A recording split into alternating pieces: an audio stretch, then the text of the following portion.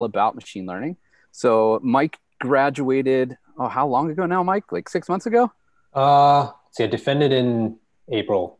I think I graduated in May. Okay, so it's yeah. only been a couple months. Couple it's, months. Again, seems like it's been like a million years these last few months. Um, so he's graduated recently. So also another great person. If you have, he's given this lecture on machine learning. This is what your fourth year giving this lecture. I think it might be more than that. Five? Yeah, I think it might be time. five. Yeah, I think it is five. Uh, so it's a really good lecture. He um, is fine with you interjecting if you have questions. The other thing we're going to try is the raise hand feature. So you can still chat and ask questions if you want.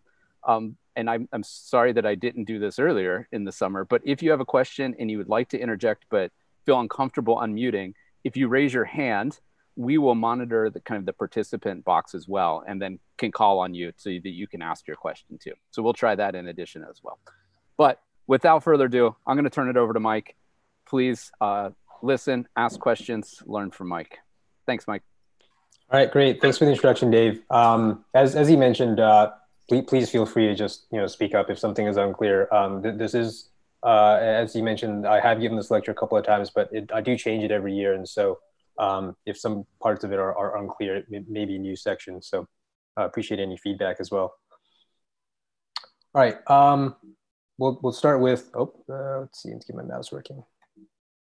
Hmm? Okay, there we go. All right, so here are uh, today's objectives. Um, after this lecture, you should be able to define and explain uh, general concepts of artificial intelligence and machine learning uh, you will have gained some familiarity with various applications of machine learning, and you will have seen an overview of how machine learning models are trained. And um, lastly, you will understand uh, a loose categorization of different types of machine learning problems. So uh, I'd like to start out this lecture by orienting uh, where we are uh, just in terms of what we're going to talk about. So if we start with all knowledge that exists in the universe, you can split that into things that humans know and things that humans don't know.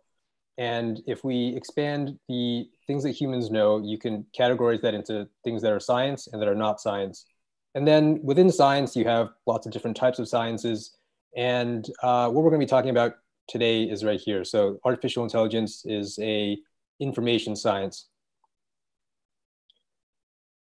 And so like to start with a really like accessible, uh, simple definition of artificial intelligence. So that's simply um, a program that does something smart. And now something smart can be almost anything. Um, a program that helps you find your way to a place that you've never been before is an artificial intelligence. Uh, program that determines the chance of rain tomorrow is an artificial intelligence. Uh, a program that helps a doctor determine what treatment to give a patient is an AI. Um, and a uh, website that tries to sell you stuff like this, uh, you know, maybe after you bought something like that, um, is is an AI.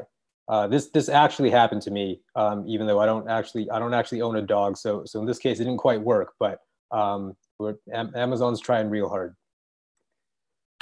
So those are all examples of applied intelligences. Um, that is, it's an intelligence that operates um, within the boundaries of some specific problem. Um, it's designed and trained for that particular application, and it cannot be used to solve a different problem without significant modification. So, uh, for example, if you take your self-driving car and uh, you know you ask, you, you give it some information about a cancer patient, you ask it, what drugs should I give this patient? It's not going to be able to answer that for you.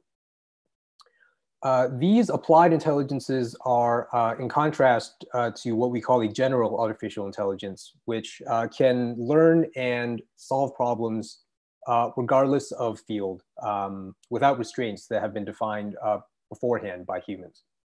And so people, researchers, um, companies have developed many, many applied artificial intelligences for a wide variety of applications and use cases. Um, however, a general AI does not currently yet exist. Um, in terms of looking at what might be required for general artificial intelligence, a baseline requirement uh, would be that a generally intelligent computer should probably be able to perform at the level of a human in all cognitive tasks.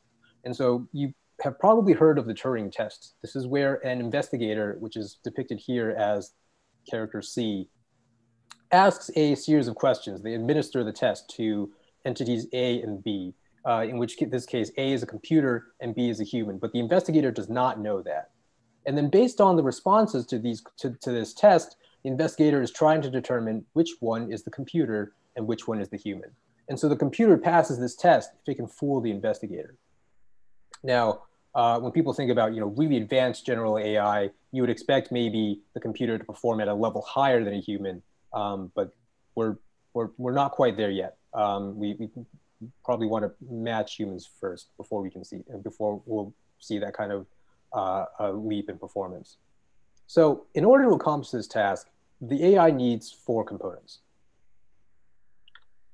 First, uh, natural language processing enables communication. So it this doesn't really matter like what language. It could be English or Spanish or German. Uh, a natural language is one that has developed through use and repetition rather than conscious planning uh, and prescription. So th these are languages that humans use to communicate with one another, languages that we learn growing up. Um, they're, they're not a you know, formalized uh, computer language that is, is, is you know, are rooted in, in you know, uh, very rigid syntax rules. Uh, languages, most importantly, um, can evolve over time, uh, whereas uh, that process for computer languages is, is typically uh, much more difficult. So some examples of this uh, would be, you know, these sentences that we communicate in, lions or cats, uh, cats or animals. And in, in terms of getting a computer to understand these sentences, seems like it should be relatively simple, but, uh, see one sec. Oh. Uh, sentences can, you know, rapidly get very complicated as we try to uh, express, you know, more, more complex ideas and concepts and relationships. The next step, once this information has been processed by the AI, is uh, they need to, to, to, store it in, uh, in some organizational form. Um, knowledge representation consists of things such as standard terminal, uh, terminologies uh, and ontologies. These are organizational frameworks for concepts and ideas. Third, automated reasoning uses the stored information to answer questions and draw conclusions. Uh, here you have some sort of inference engine, and the goal is to generate new knowledge from explicit knowledge. So up until this point, the knowledge that the AI has is explicit. These are things that it has read in documents or that has been told in conversation. Uh, generating new information through you know, deductive or inductive reasoning is the third requirement. Now, before we get to the fourth component, here's what the first three components put together might look like. Uh, this diagram represents what's typically called an expert system because it's usually built using knowledge from an expert. Um, it can also be called a knowledge-based system, or you might hear it called an expert agent. These are all basically the same thing. So how this works is that knowledge from an expert is uh, transferred into the system via some sort of user interface. Um, and that knowledge is encoded in the knowledge base.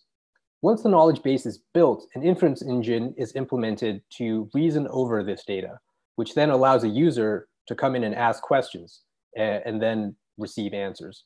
And sometimes the answers generated by the inference engine are also used to grow the knowledge base.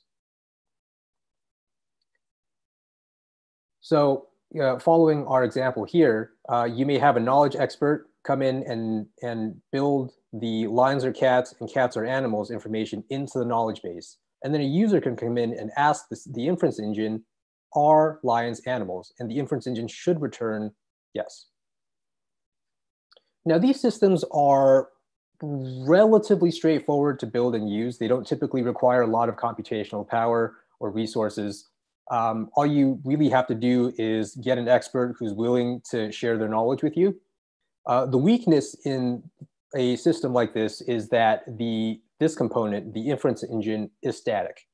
You can put more knowledge into the system via the knowledge base, but you can't change how it thinks. And so that's where the fourth component comes in. Machine learning is the ability to recognize patterns and adapt to new information. Can the machine make changes to both its knowledge base and the inference engine? So for example, given all of this additional information, leopards are cats, cheetahs are cats, lions are furry, leopards are furry, cheetahs are furry. What would a human, given all of this, be able to conclude? Any ideas?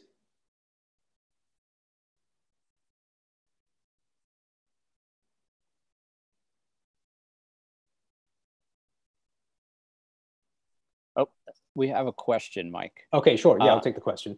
Well, Sorry, I, I a second about- behind here. Yeah, And no problem. I, don't see any hands. And Julian is asking, what kind of commands does the inference engine run? What does reasoning mean when dealing with AI?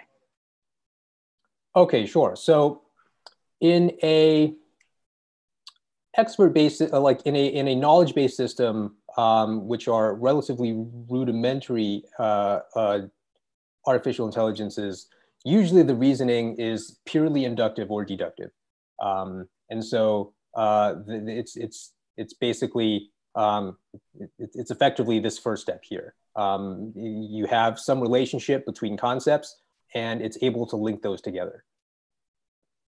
Um, in terms of the second part of the question, I think we'll get to that later. Uh, Julian, if if you still have that question at the end, ask it again. Um, but I but I but I think we're we're going to talk a little bit more about what what does it really mean for an AI to think or to learn. Great, that was, that was a good question. Um, Thanks. All right, so I'm just going to go ahead and, and give away the answer I here. think, Mike, I think sorry. there's one other either question or answer from Amanda. sure. Go ahead, Amanda. Okay. Um, yeah, I was gonna say like the conclusion is that cats are furry because like, yeah, Okay, that's great. Uh, you were gonna offer a reason, maybe. Can I can I can I push you on that? well, um, like it's sort of like I don't know the the transitive property. Like if like lions are um or sorry, if leopards are cats and leopards are also furry, um, then cats are furry. Sure, right. So it notices that the the the theoretically so as a human, right, we, we can we can sort of see all this information and we can sort of intuitively feel, okay, there's uh, lions, leopards, cheetahs, three types of animals here um, that are all that are that they're all cats and they're all furry. And so then we can sort of infer that, well, given these three examples, cats are probably furry. This is this is something that we can say, you know, with with a decent amount of confidence that is uh, the, the ability to see that pattern um, is a learned behavior. Uh, the, the, the ba- babies are, are, are, are much worse at this than, than adults. Um, thing is that computers are, they're essentially mechanical babies. Uh, they, they don't know anything that they haven't been told. And so um, you, you the, the, the, challenge in machine learning is how, how do we get the machine to be able to, to recognize patterns without being told that there's a pattern here. So uh, this is you know relatively easy for humans. Uh, in, in fact, humans are actually very good at this. Sometimes we see patterns where they don't exist. Um,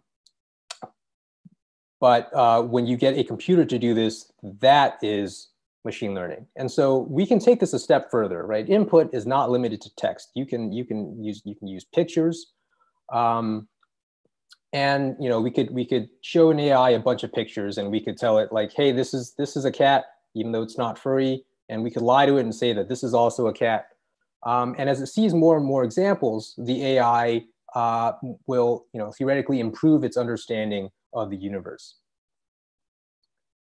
So based on uh, these four components being part of a general artificial intelligence, we can see that machine learning is artificial intelligence, but not all artificial intelligence is machine learning. As you can imagine, machine learning techniques can be applied to help achieve the first three rules, uh, uh, the first three goals, but it's not, so it's not really a strict partitioning of, of tasks, uh, but these objectives are useful for organization and understanding. All right, so now we understand that the end goal of artificial intelligence is to build intelligent machines and that machine learning is an extension of artificial intelligence. And so as we saw earlier, building an expert system to do simple reasoning is achievable, right? That feels like something that we can do. But it gets harder and harder as the problem you're trying to solve gets more complicated. So for example, if you're trying to tell the difference between a cat and an alligator, you might have just one rule. Um, for example, uh, you could uh, I don't know you could you could see if the animal lays eggs, and if it lays eggs, then it's an alligator, uh, and if it doesn't, it's a cat, right? Because as as far as this system knows, alligators and cats are the only animals in existence. But what about snakes? Mm, you know, they lay eggs, right? And now you might say that, well, that's not fair because it wasn't part of the original problem. And you're right. The new problem is more complex.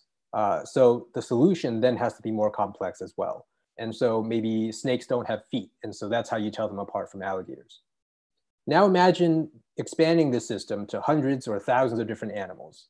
And oh, by the way, let's also include plants uh, and, and inanimate objects. And, and, and we can keep going, you know, we can, we can you know, throw in concepts and ideas that, that aren't tangible. Um, and the problem, you know, all of a sudden has become very, very difficult.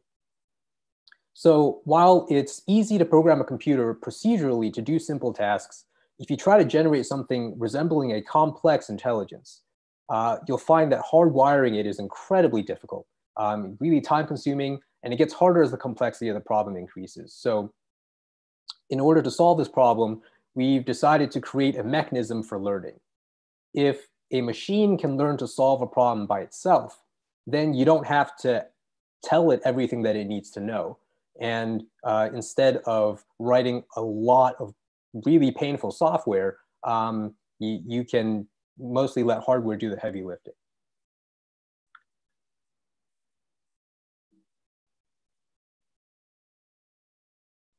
Um, oh, this slide is not still supposed to be in here. Um, that's okay. Uh, right. Okay. So Machine learning is well suited for a variety of practical applications. Uh, the first that most people think of is probably big data. Uh, there's a lot of data that's being generated all the time. And right now, the internet is estimated to be something like 40 zettabytes. Um, I don't actually know how big a zettabyte is, but I know that when I gave this lecture two years ago, the internet was only 15 zettabytes. So uh, it's, it's growing exponentially. Uh, there's a lot of information in there, and uh, most of it, a lot of it's generated by what's called the Internet of Things. So these are household appliances that talk to each other and track your actions and behavior. Um, it also includes a fair amount of biological data, like genome sequences, uh, gene expression arrays. There's data in your medical record, and these are just some examples. But there's knowledge hidden in all these databases out there. But the problem is that it's so large, there is no way that a human is going to go through and actually be able to find anything. The insights that exist within this ocean of data uh, are, are, are virtually impossible to pick out by hand. So machine learning is a great way to do this. Machine learning can also be used to build recommender systems. Uh, Pandora is probably best known for this. Their implementation of personalized radio, where you could tell it, you know, what songs you liked and what songs you didn't like, and it would play, you know, songs similar to what you liked, uh, was probably one of the earliest widespread consumer applications of this kind of technology. Um, like I want to say, Pandora Internet Radio first came out in what, like the like the early 2000s. Um, Netflix also does this. Uh, you know, rather poorly in some cases. You know, you watch one scary movie and all of a sudden it's like all all we've got is scary movies. Here are all my scary movies. Um, and so these systems attempt to make recommendations based on user behavior. Uh, the goal here is to generate a model of a user's tastes or preferences. And the advantage of using machine learning for this is that with one framework or one the general shape of one model, you can just fill the model in with different numbers. And this allows you to generate a different model that recommends different things for a million different users, but it's all based on one architecture. You don't have to go out and specify you know, the, the, the intricate details of everything by hand for every person. Another use for machine learning, um, as we hinted at earlier, is simply for complex problems. Um, the inverted pendulum is a pretty classic example of this. Uh, so here the goal is to balance the weight uh, in the circle above a uh, point of control. And so you can see that the goal state is inherently unstable because as soon as uh, the ball starts to tilt in one, dire one direction or the other, gravity will tend to accelerate it in that direction. And so you, you, in order to keep it balanced, you have to constantly be making adjustments here at the control point. The math behind how much force uh, acceleration you want to apply to the control point is relatively complicated, uh, and it's difficult to do that in real time. So people tend to just use uh, machine learning. There's a machine learning solution for this, um, and those solutions are actually implemented in self-stabilization protocols for uh, remote-controlled drones. So now we've looked at the origins, uh, the purpose, and some applications of machine learning. And so we might have a more intuitive feeling for what machine learning is. Here is a formal definition. Machine learning is the study and improvement of the ability of computers to learn without explicit programming. Um, unfortunately, to actually make use of this definition, we have to define learning, which is a little bit more complicated but in the context of a specific problem, uh, it might become a little bit more concrete. So if we go back and use the previous example, if you present a human with this picture and you ask that person what kind of animal this is, uh, the picture represents a visual stimulus. It's an input of information. And that information is then processed by their mind, their brain. And when the person is done thinking, uh, you know, he or she says, this is a cat, that is an output. Now, the output isn't always correct, right? Somebody who hasn't seen this animal before might not know that it's a cat. Um, uh, they might be wrong, but you can correct them and tell them it's a cat. And the next time they see an animal similar to this, they will know that it's a cat and they will be able to properly tell you that. With machines, it's the same thing. Uh, you just replace the brain in the middle with some math. Uh, imagine that you could encode the picture of the cat uh, as a number or a set of numbers. And you pass that number to an equation and you evaluate that equation. And if the equation happens to be true, then the math says you have a cat. And if the equation is false, then you don't have a cat, you have something else. So just like with a human, the process of learning is making changes to this equation, improving it with examples so that it gets better and better at identifying cats. So maybe a little bit more formally, now that we have that example, learning is an improvement in some in performance on a task achieved through increased experience. And uh, if we want to make that really scientific, we just replace some of the concepts with letters. Uh, so with additional experience E, performance P on some task T increases. And so this means exactly the same thing as the previous line in, in English. Um, but it gives us the three things that we need to concentrate on. And those are experience, performance, and task.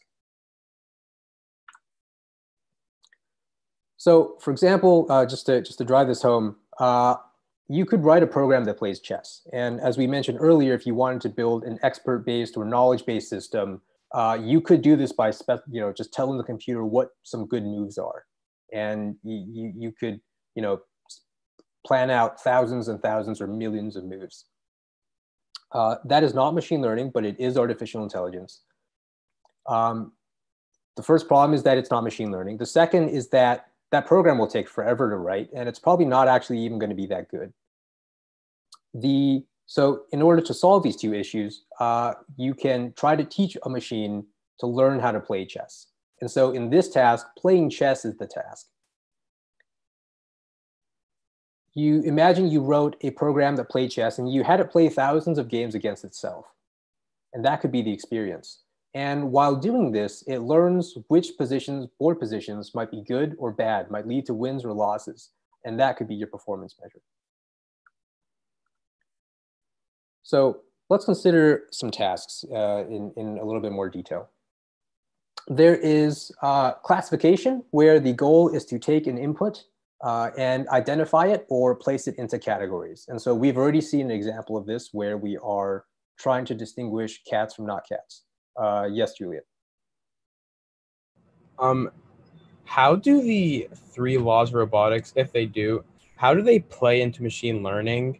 because it's not explicitly coding, like you can't tell what to do. So how how do you like enforce those three laws um, without being able to code it explicitly? Okay, just to clarify, the three laws of robotics were uh, you're talking about Asimov's laws of robotics. Yeah. Yes. Okay. Um, no system that I have ever worked on has explicitly encoded those laws. So there, like, there are definitely models that I've built that could probably hurt me if they wanted to. Um, that's an interesting question that I actually don't feel prepared to answer right now. Um, I think when we get closer to a general AI, these are that's an issue that we're going to run up against. Um, as of right now,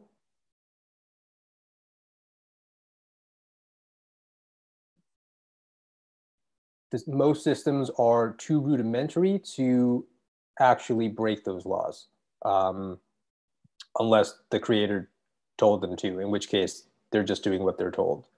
Um, I'm, I'm not sure this is a this is a satisfact like this is a satisfying answer. Uh, we we can we can talk more about this later if that's okay. He's shaking his yes. Uh, also, Sam, Sam, mentioned don't forget the zeroth law, but that might also fall into that same category of. What is the zeroth law? Sorry, refresh my memory. Sam, it's like um, no robot can do anything that would um, result in the destruction of humanity as a whole or something. That that that's pretty important. So it's like the robot can't, in order to protect the its owner, it can't like destroy everything else. Mm-hmm. Um, I mean, I think there's a there's a pretty common trope. Uh, we're getting a little off topic, but that's okay. Um, in uh, science fiction, where you know somebody builds a AI and it's like pretty advanced, and um, it's it's like really good at doing the one thing it's supposed to do. I think the the most recent version of it I've read it's like a, it's like a machine it's like an it's like a machine that's like its job is to like make signs or something. Um, like it's it's like advertising for a specific company or whatever, and it gets like really good at making signs. And for whatever reason, there's like no fail safe in the system, and it just keeps making signs until like all of the raw materials on their planet has been converted into signs. There's no food anymore. Everyone dies, and the AI just like keeps making signs until like forever. Um, so that is definitely a thing that theoretically is possible if you, we were to design like a, like a really advanced AI and not put in safeguards. Um, so like theoretically it could happen. Um, I would imagine that the earliest safeguards are literally just rules in the system that say, hey, don't do this. Uh, but that would require um, people to foresee every potential thing that could go wrong, which of course we're going to miss a few. Uh, you could build a subcomponent of the AI that sort of tries to predict the future um, and then seeks to avoid specific uh, like negative externalities that could happen. The only issue with this is that, um, especially with a lot of our, our currently most advanced AI models, uh, we don't really know exactly what they're thinking. Uh, we, we call these black box models um, you may have heard of uh, you know neural networks being uh, you know used to power self-driving cars. Um, the, the technology, the capability of the technology has advanced faster than our ability to sort of analyze what's going on on the inside. We have a lot of models that perform very well, but we can't really tell you why. This leads to a risk where, a very real risk, where um, we think the model is working correctly, uh, but it's really you know doing something completely different under the hood and while that may be fine in you know 99.9% of cases there could potentially be an edge case where uh, you know the system fails catastrophically um, there is some interesting research being done in, in these areas. I think um, there's um, uh, so, someone identified uh, if you want to use a camera to like read like a speed like a like a speed limit sign um, while you know image recognition for numbers is really good these days, turns out you can take an image and you can like tweak a couple of pixels in it, and it'll make the computer think that you know a 35, it will make it think it says 85, uh, which that's real scary. Um, I try not to read that paper more than once every two years. Um, so, but um, there are people working on it, so that's that's a good thing. I don't know that we can promise more uh, right now, but um, I, I, think like there, there are some definitely like real ethical issues, um, not you know aside from not just safety, but other things um, that are you know attached to uh, this type of technology. Um, and, and it is good that, that people are thinking about it and that you know we, we are working on uh, maybe hopefully having solutions. So um, yeah. Does anyone, does anyone have any further questions on this point?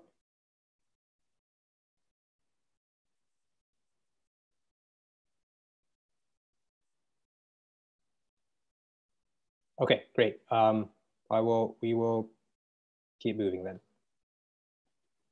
Uh, let's see, where were we? Um, okay, I think we just started with classification tasks. So um, we've already seen an example, uh, which was distinguishing cats from, from not cats. Um, the next task I have listed here is regression. And so that's a very similar task to classification, except the output, uh, instead of being discrete categories, is a continuous number. Producing structured output from unstructured data uh, is the third task that we have listed. And an example of this would be the natural language processing that we discussed earlier. Anomaly detection is when you have a data set and you want to find specific samples of data that are weird. Uh, you know, these are data set points that somehow look different from the rest of the data. A common example used for this is if you have uh, the, the, logs of, you know, building access codes or building access to a secure building and uh, you want to see if you know there are any you know anything out of the ordinary in terms of people entering the building when they usually don't entering from a different entrance um, you know, you could flag these uh, as potential security threats, and you would use an anomaly detection system for that. Uh, imputation is when you have a data set and some of the values are missing. Uh, either those data points you decided were of low quality, you toss them out, or they were just simply never collected in the first place. Uh, you can use machine learning to make educated guesses to fill in those missing values. Uh, so these five are not an exhaustive or formal list, and in fact, there is some significant overlap among some of these categories. But the core idea is that a task category is a generalization of a set of problems. And the reason that this is useful for us is uh, if you are trying to determine, for example, whether or not a given animal is a cat, um, or if you're trying to figure out if this thing that you're about to eat is a hot dog, those problems have some similar characteristics right? These are both classification type tasks. And the advantage of grouping these together is that you know that you can use the same types of methods to solve problems that fall into the same task category. The specific details of those methods or parameters of the solutions won't, won't be the same for every problem, but the general form of the solution will be the same. And we'll talk more about solutions in a little bit.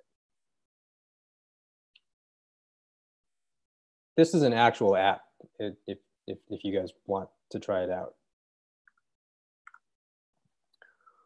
So um, we, we talked about tasks. Um, and so the next step is we, we want to talk about experience. And so in the simplest supervised machine learning applications, the data that you have uh, for building your model is split into two parts. Uh, you have a training set and a test set.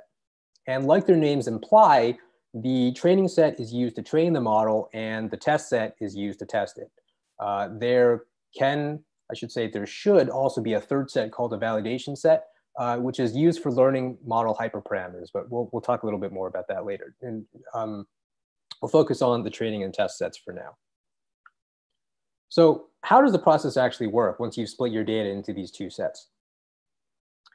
Uh, during training, the model is constantly evaluated on the training set. So you have your model in its current state and you show it the training data and you ask it, you know, what it thinks the correct answers are based on the training data. And then you can compare that answer against what you know the correct answer to be. And you, typically you uh, apply some kind of error function. Um, this could be as simple as subtraction. It, it, could be a little bit more complicated. And this generates a number, uh, which is referred to as the training error. And so um, you then make modifications to the model to reduce that error. And you repeat this many times, And uh, as you show the model more and more information from the training set, and you keep correcting it when it gives you wrong answers, uh, then over time, the training error will decrease. When you think that you're done with this step and you're done training, you take your model and you go over to the test set and you evaluate the model. And so this is the same, the, the first half of the process. You show the model, the test input, and you get the test output, and then you compare it against what you know the right answer is. And this is uh, this gives you what's called test error, or sometimes called generalization error. And this is a measure of how well the model performs on new data. And so this is how well it's expected to work um, if you you know take the model out of the lab or wherever you developed it, and you want to use it in an application. So there are two goals here, um, and they are competing in a little bit. Um, so when it comes to training, you want to minimize the training error. This is a measure of essentially how much your model has learned from the training set. You want it ideally to learn a lot um, and to get a smaller training error. So when you have a big training error, this is called underfitting.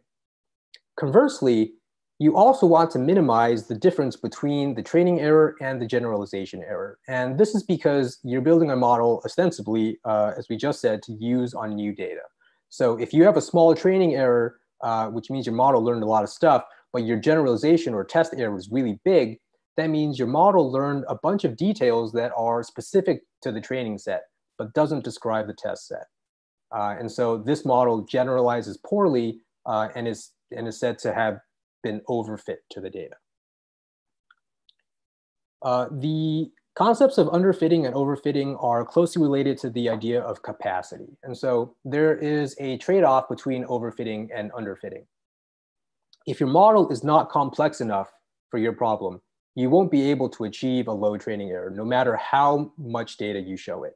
And this, you, you will underfit. Uh, on the other hand, if your model is far more complex than is required for the problem at hand, then you will overfit your training data, uh, and and this this you know you you you failed in the other direction.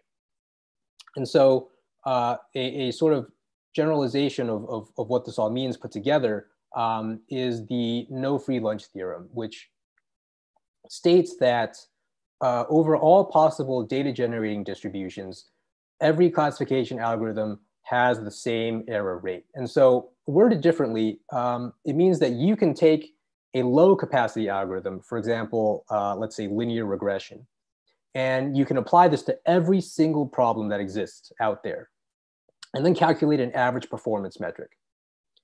And then you put that to the side and you do the same thing with a high capacity algorithm, like say like a really deep neural network.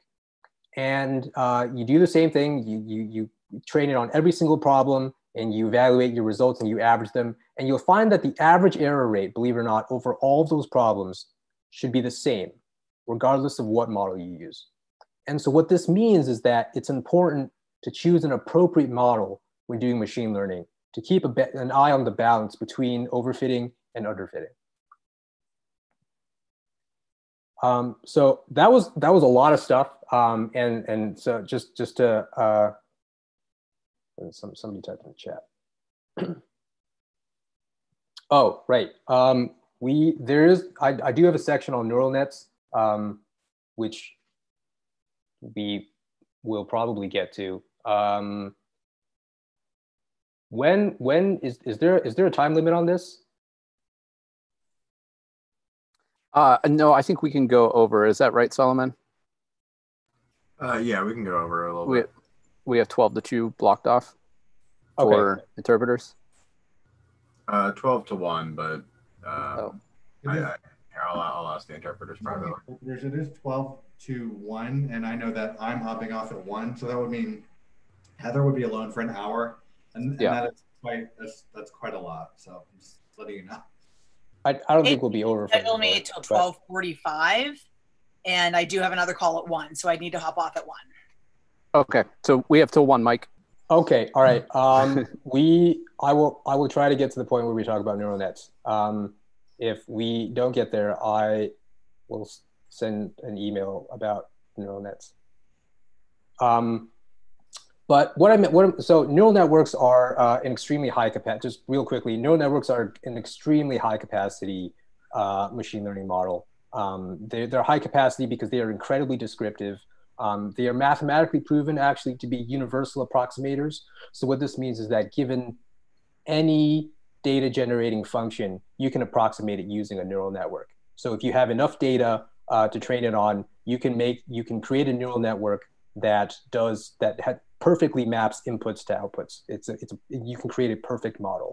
Uh, now it doesn't, it might not necessarily be following, you know, on the inside, it's, it's technically an approximation if you look at what happens to the numbers as they pass through the model. Um, but you, you will get a perfect mapping of inputs to outputs. And so that's what it means to be really, really high capacity. Doesn't matter how complex your problem is. If you have a neural network that's big enough, deep enough, you can, you can, you can, you can learn that function.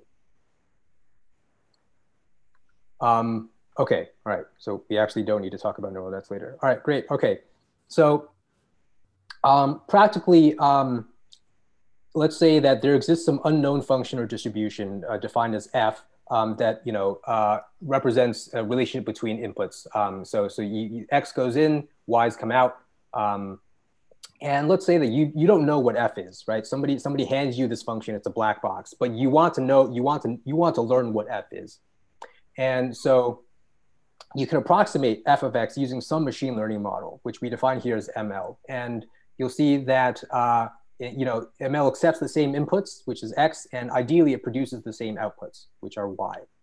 And you'll notice an extra letter here, which is theta. And so theta represents the parameters of the machine learning model. Theta are what you change when you are training the model, when you are fine tuning it.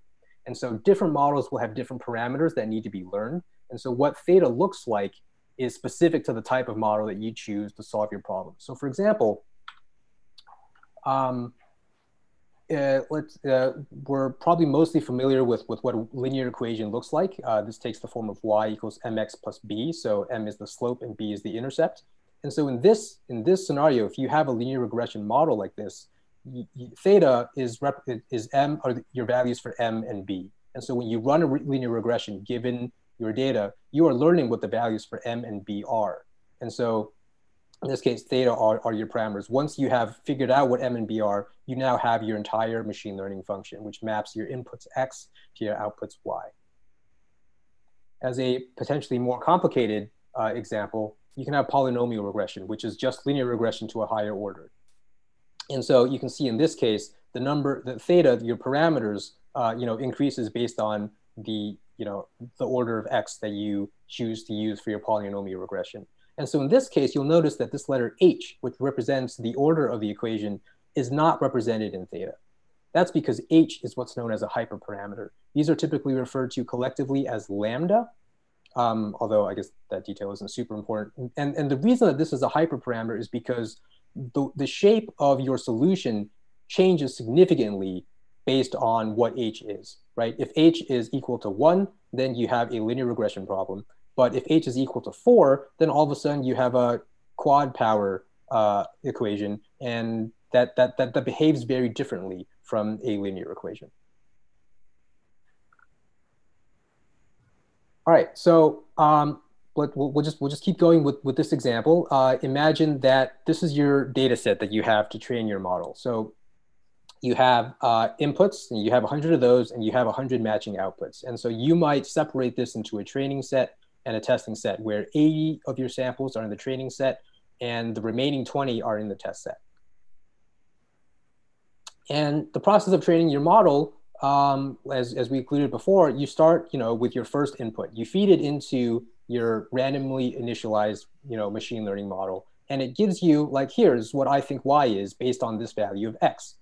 And then you compare that value against the actual value of y. And here's your training error based on you know that error, you can update uh, theta uh, based on you know what direction the error pointed in, and then uh, you go and this is a loop. So you repeat this with the next training data uh, data point, and all the way until you know you've used all of your training data. Cycling through all of your training data once is called an epoch. Uh, and in a lot of cases, you will train the, the model for several epochs. Eventually, uh, you're going to think that the model has learned everything it could possibly learn from the training data set. And then you just go over to the test data set. And so here you feed in the last 20 data points that it hasn't seen before. Uh, you get you know, what the model thinks the correct answers are, and you compare them against the actual answers. And then here, this is your generalization error. Um, right, okay, so are there, are there any questions about what we just talked about? Okay, great. Um, we're going to move uh, into the next section, which are just a quick overview um, of uh, some learning algorithms. So uh, the first category of, of problem and, and, associated algorithms is, is, supervised learning. And so this is probably the most common type of problem. We've already seen a couple of different examples of this. And so, um, but as another example, let's say your friend is trying to sell his house and his house is 2,500 square feet and he wants to know, you know, what's a reasonable amount to, to, to, to expect to get for this house, uh, ignoring all the other things that matter, such as where it's located or how many bathrooms there are. And so you do some research and you come up with this data, uh, and you could try to fit a model to this, right? You could you could you know set up like a straight line um, through this data here, or maybe it you know tapers off a little bit towards the top, and you know maybe your friend's house is worth you know four hundred thousand um, dollars this is a supervised learning problem because we have a data set where the correct answer is, is theoretically available, right? Based on well, every single data, data point here, you have an input, uh, which is the size of the house in feet, and an output, which is how much money the house sold for. And so um, based on this training data set, we can, we can create a model that is able to predict some type of continuous output variable. And so this particular supervised learning problem is also a regression problem. Uh, now you could imagine um, a different supervised problem where we are trying to define, you know, a tumor as being malignant or benign based on the size. And so once again, we have a training set with correct answers, and we want to build a model that predicts an outcome. Um, uh, the, but the difference between this and the house price prediction problem is that the outcome is not continuous. It's a categorical variable, right? Either the tumor is malignant, yes, or it's not, no. And so this is called a classification problem, where the goal is to classify data samples into one of these two discrete classes. Uh, now you're not limited to just having two classes. You could you could have multiple. You know, you could have multiple classes if you want. Um, and uh, logistic regression is a specialized form of the generalized linear model, which is is typically used for these types of classification problems. Uh, this is where the, uh, the for those of you who are more math inclined, that the typical probability distribution um, it, um, used by linear regression is Gaussian, uh, but logistic regression uses a Bernoulli. Um, so the examples we've seen so far have, you know, just one predictor variable, but you're not limited to that. You can have more if you want. Um, so you could imagine instead of just looking at tumor size, you also add in the age of the patient. And you can see that, you know, there are, you know, maybe if, if um, you have a large tumor and the patient is very old, then the tumor is more likely to be malignant. Whereas if the tumor is smaller and the patient is younger, then the tumor may be more likely to, to not be as bad. And so, uh, you know, you can, you can see that if you just draw like a straight line between these two groups, you get a pretty decent classification. Um, you know, you, you only, you know, maybe get these two wrong. And so this, that, the drawing the line between the groups is essentially what a support vector machine tries to do. Um, it defines the decision boundary, and then it examines individual vectors from data points uh, to sort of nudge the boundary in either direction to uh, generate better predictions.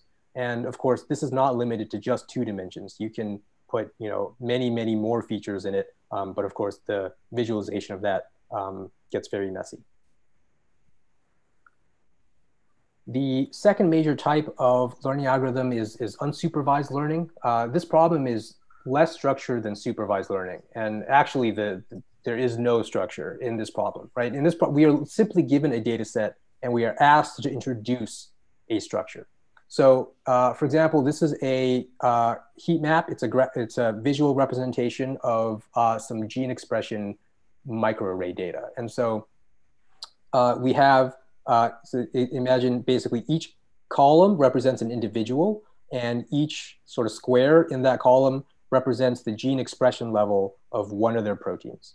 And um, you can, you know, you, you, can generate this this visualization, and then you can run a clustering algorithm uh, to group these individuals into types of people. And so from this, we might be able to learn associations of genes with different disease phenotypes. So for example, you know, this group of patients, um, they all look very similar. Um, all of their genes are underexpressed, uh, whereas, you know, this group of patients, um, all of their genes, these, these particular set of genes are overexpressed. And so you could group this as, you know, patient group A, and this might be patient group B. And then once you have that information, you can look at other data that you have that might tell you, okay, besides the actual, you know, difference in their genomes, what does that mean for the patient? Are, are, does this group of patients, are they more likely to respond to a certain drug? Um, are, are, does this group of patients, are they more likely to have more severe side effects? Um, those are things that you would want to do with unsupervised learning. The last two types of problems um, are reinforcement learning and semi-supervised learning. We're, these are a bit more specialized, so uh, we don't go into as much detail, but the defining feature of reinforcement learning is a focus on performance. So in this task, the machine is not given necessarily correct uh, input-output pairs, and instead it's simply told whether or not it's succeeding.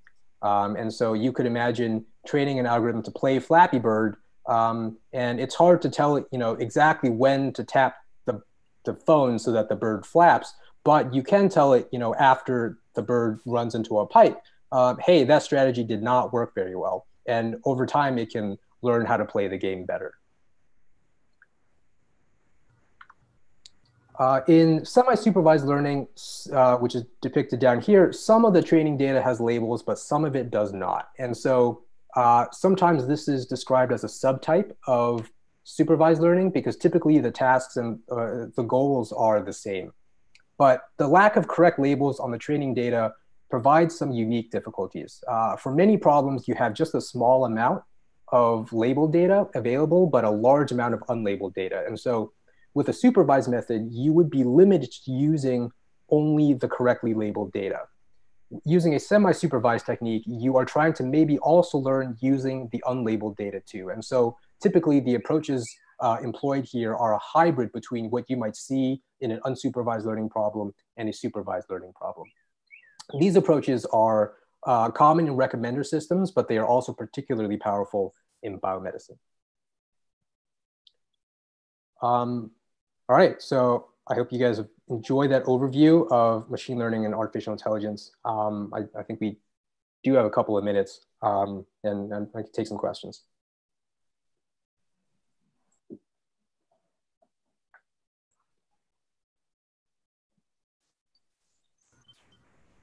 Or we can has questions, watch the computer learn how to play Flappy Bird. I wonder, does everyone know Flappy Bird? I remember you did this several years ago. Is it still a thing? I don't. I'm actually not sure. Uh, yeah. I, don't, I don't know what the, the kids are into these days. Uh, it, um, so so basically, um, it's exactly what it looks like. the The bird is dumb and doesn't know how to fly properly, and uh, you're trying to get it to not run into the pipes. So basically, every time you tap the screen, it flaps its wings once and it goes up. And if you don't tap the screen, it just falls down. And so you want it to not hit the ground, and you also want to navigate it in between the pipes.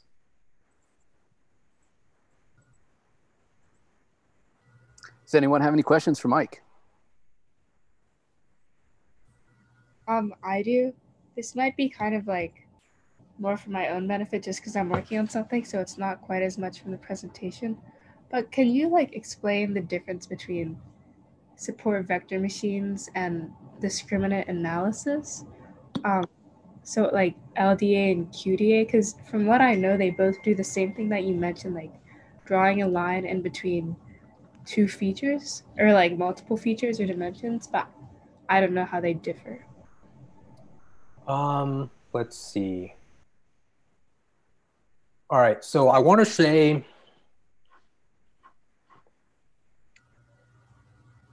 it's been a while since I've looked at discriminant analysis. My understanding of how that works is that it uses Fisher's discriminant. It looks at all of the data points relative to the decision boundary. Is that correct? um, the difference between that and support vector machine is that typically support vector machine only looks at the data points that are closest to the boundary. Um, most implementations of SVM that I'm aware of don't bother, uh, you, you know, like don't bother, um, what's the word? Uh, like expending the computational resources to look at data points that are far away from the boundary because you, they, they, don't necessarily have a lot of effect. Um,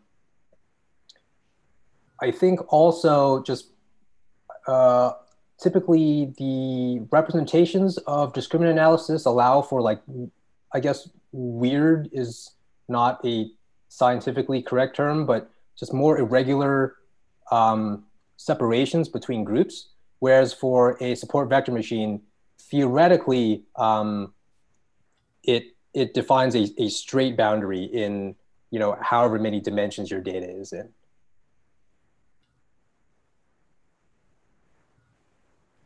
I don't. Um, yeah, I don't. I don't know. like how useful that distinction is. Um, I think. Well, okay. So, I mean, I'm just going to ask you about your project. Like, what kind of, what are you trying to use these for? Um, I'm using it to determine between emotional states like calm or distressed using EEG brain data. Okay, that's how, that's really cool. Um,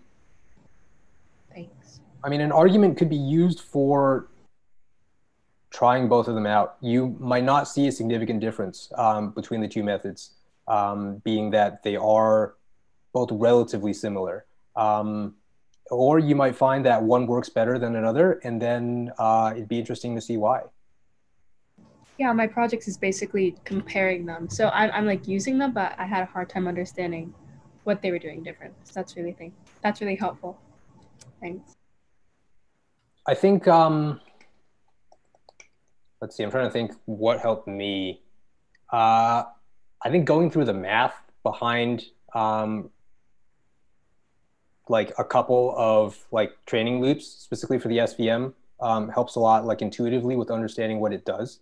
Um, my understanding is that the, the, the Fisher's discriminant analysis is not necessarily like you don't necessarily train that, uh, but I might be wrong.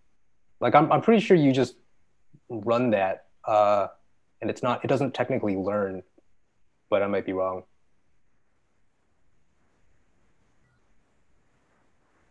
But typically, typically, I would I, I would go back into the math, um, try to find like the seminal paper that the the method is published in, um, and and just sit down with it.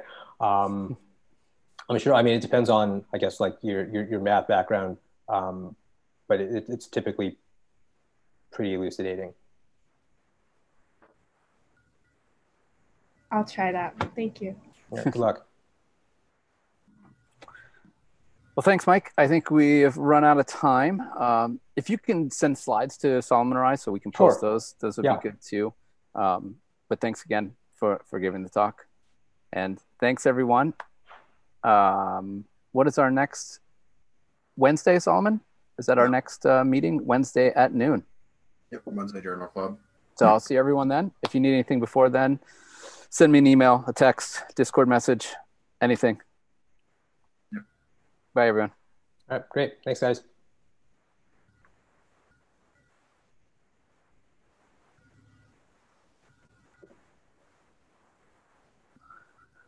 All right.